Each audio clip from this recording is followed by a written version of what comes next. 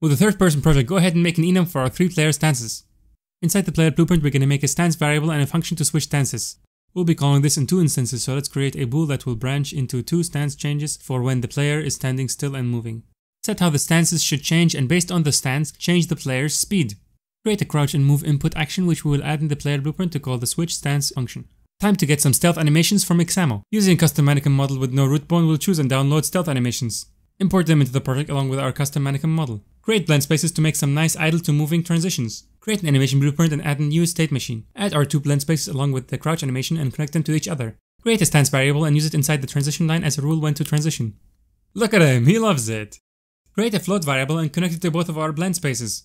Get the player velocity and set the speed variable. We'll do the same to get the stance variable from the player. Add the new mannequin to the player blueprint and look at that, he's alive! For the camo UI, we'll create a widget blueprint and add a nice little camo image box up in the right corner. Add text for the percentage number with the percentage symbol along with some cool outlines. Create current and new percentage float variables. In the tick event, set the current percentage with an f interp to constant using the current percentage, new percentage, and delta time with an interp speed of 50. Truncate the current percentage, use that value to set the percentage text, and if the percentage is lower than 0, make the text red. Create an event that says the new percentage. In the player blueprint, create the widget, save a reference, and add to viewport. Create a ground and grass physical material. Create a new material, color it green, and make it translucent. This will be a grass material. Assign the grass physical material to it.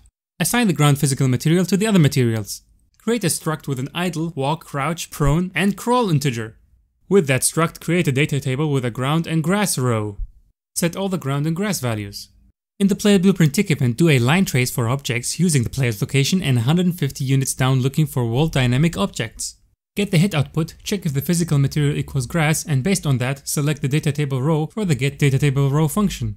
With the raw output, get the stance state values and using the stance enum and the player speed, we get the camo percentage that we pass along to the widget. Drop in that grass mesh we made and there you go. You can go around stealthing in all kinds of different environments. With a little more time and polish, you can create some awesome looking stealth games.